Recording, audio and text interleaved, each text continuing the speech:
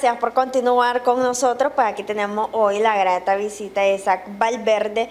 Él es optometrista, pues nos viene a hablar sobre los tips para el cuidado de sus lentes. Pues las personas que utilizan lentes, pues les va a dar esos tips de cómo cuidarlos. Buenos días, coméntenos un poco sobre pues esos tips que se debe de tomar en cuenta sobre todo pues para las personas que, que utilizan lentes. Buenos días, mi estimada. Pues aquí estamos activados y con salda. No, sí, ya, me doy cuenta. El tema muy interesante, ¿verdad? Bueno, aparte que estábamos hablando, estaban abordando el tema de la adolescencia, ¿verdad? Qué interesante saber, ¿verdad? Y en este caso, pues estamos abordando un tema muy importante, lo que es el, los tips para el cuidado de los lentes. Recordar algo fundamental, el que usa lentes tiene por costumbre eh, tener, que, tener que cuidarlo, pero a veces se nos olvida dónde lo dejamos. Uno de los tips puede ser que el paciente tiene que usarlo de forma correcta ponérselo con las dos manos, quitárselo con las dos manos, porque al jalarlo de, uno, de una sola mano, la patita a veces de lente queda en la parte trasera de la oreja y con el tiempo se le daña la patita, se le quiebra, como decimos popularmente, o se daña un resorte que trae. El otro tip es que el paciente no puede prestar sus lentes. ¿Por qué? Porque, por ejemplo, yo soy cabezón y tal vez tu carita es fina, entonces al ponerme los lentes no adecuados, ¿verdad? Eh, lo abrimos o a veces hasta lo dañamos. Los lentes, cuando nosotros no lo tenemos en uso, ¿verdad? No es bueno que se lo ponga arriba de la cabeza. ¿Por qué? Porque en la parte de arriba al usarlo a veces se nos olvida, se nos cae o se abren eh, el lente y quedan flojos. ¿Verdad? Otro tips es que el paciente no puede estar prestando sus lentes porque hay pacientes que tienen conjuntivitis bacterial u otro problema y lo que puede generar es que se enferme de su ojito por andar prestando lentes ajenos y o comprar lentes de la calle. Cuando el paciente usa sus lentes, tiene su estuche. El estuche es para guardarlo, no para tenerlo alzado. ¿Verdad? Porque a veces lo tenemos guardado y la camisa, la, bolsa de la camisa o de los pantalones no son adecuados o no son estuches para guardar los lentes. Recordemos que cuando el pantalón, o sea, los lentes los metemos en la bolsa del pantalón, nosotros, ah, eh, de, este, de hecho, presionamos el lente y tal vez el lente es delicado y por eso a veces se, se dañan, se dañan ya sea el espejuelo o el aro. Cuando el paciente usa lentes de contacto, los lentes de contacto no se prestan. Eh, la uña de lente lo puede dañar con facilidad. Tiene que utilizar o, tener el cuidado o el aseo necesario, lavarse las manos para que cuando se los ponga, hacerlo con la yema de los dedos. No tenemos que utilizar el lente usado, el lente de contacto es de forma permanente, es de forma personal, ¿verdad? Y siempre hay que ver en la cajita la fecha de vencimiento. No podemos estar utilizando lentes que están vencidos porque más bien lo que podemos generar es una úlcera corneal. Ahora, en el caso, digamos, de las personas que lo caminan así colgados, sus lentes, ¿es adecuado andarlo así? A veces hay pacientes que, por ejemplo, la gente que trabaja en el campo, en la zona rural, me piden que le traiga con cordones. Eh, ¿Qué es lo que sucede? Que por costumbre tienen usar los guindados, que no es malo, pues, ¿verdad? Pero lo, ideal y lo, y lo recomendable es usarlo de forma como corresponde, ¿verdad? Puesto. ¿Por qué? Porque está forzando su vista y si se examinó la vista y mandó a hacer sus lentes, ordenó sus lentes para usarles porque tiene que usarlo de forma que corresponda. Ahora, en el caso, digamos, de la persona que ya sus lentes, pues eh, se supone en la práctica ya caducó y todavía lo sigue usando. Cuando el paciente ya no le sirven los lentes, le pues, genera síntomas. Ya no ve bien, miran borroso, borroso, le genera dolor de cabeza, lagrimeo y el ente más bien le estorba. Entonces, en ese caso, tiene que visitarnos para qué? Para que hacer la renovación, puede utilizar el mismo marco o solamente o lo manda a hacer todo nuevo, porque eso sucede a veces. A veces también, que es algo importante, la persona que usa maquillaje, pues por ejemplo, ustedes las damas, eh, utilizan base, algunas, ¿verdad?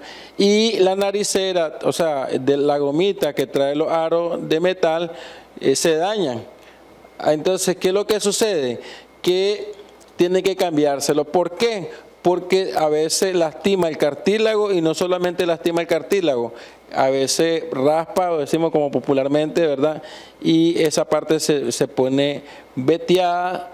Aparte de eso, la persona cuando no cambia la, la gomita o naricera, lo que hace es dañar su cartílago de la, de la nariz, obviamente. Sí, porque ya hemos visto algunos que les queda... La seña. Sí, que te dicen, mejor ponete los lentes.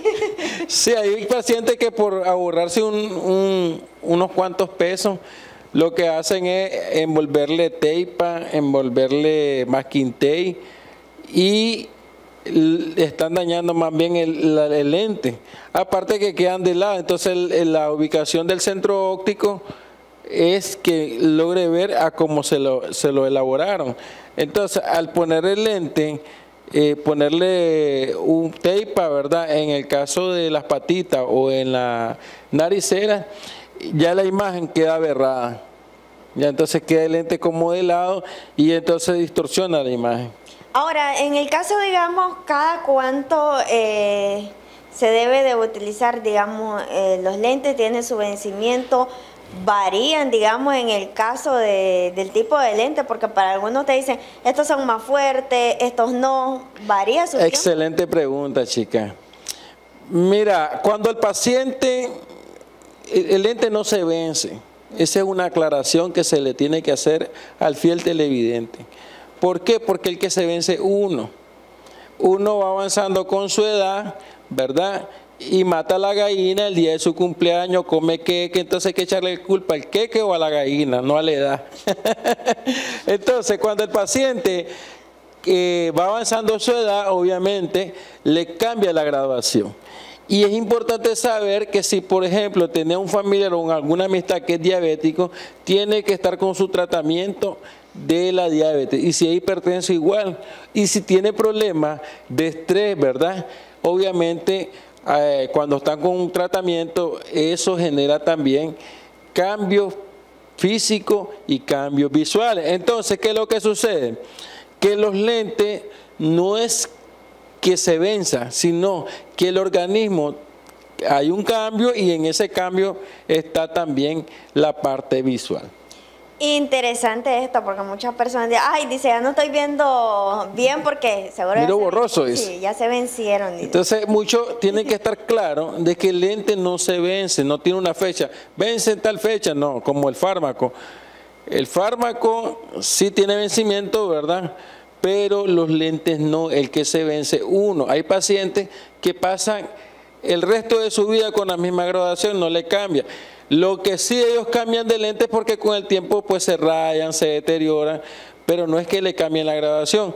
Y en el caso de nosotros los cuarentones, Sí, cambiamos la graduación porque antes mirábamos bien de largo y de cerca y con el tiempo pues necesitamos lentes para ver de cerca y para ver de largo porque el cristalino, lo que es el, el lente natural que Dios nos regaló, eso pierde elasticidad o no funciona a como tiene que ser, no enfoca ni desenfoca, sino que, que queda, ya no queda el cristalino teniendo la elasticidad, entonces nosotros lo tenemos que hacer de manera mecánica.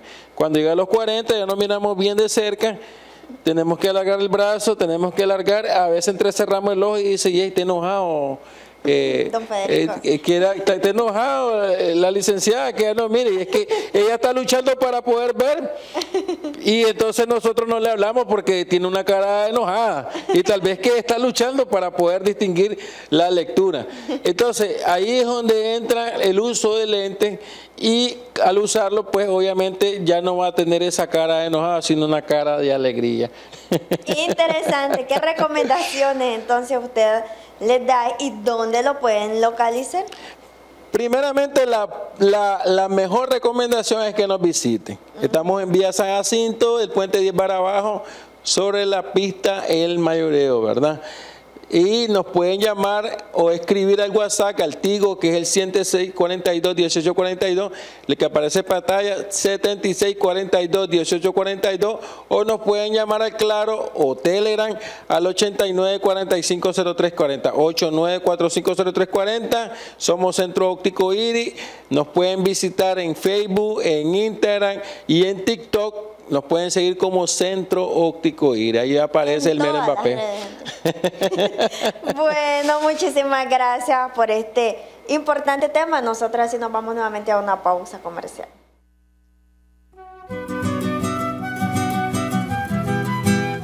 Reconocimientos, denuncias, quejas y sugerencias. Envíelas a Canal 12. Programa Buenos Días Nicaragua. Residencial Bolonia o llámanos a los teléfonos 2266-0691, 2266-9983, 2266-9984. Escríbanos a nuestro correo electrónico canal12 arroba canal12.com.ni. Redes sociales, Facebook Noticias 12 Nicaragua, YouTube, Canal 12 Nicaragua, Twitter arroba Canal 12 Nic Visita nuestro sitio web www.canal12.com.ni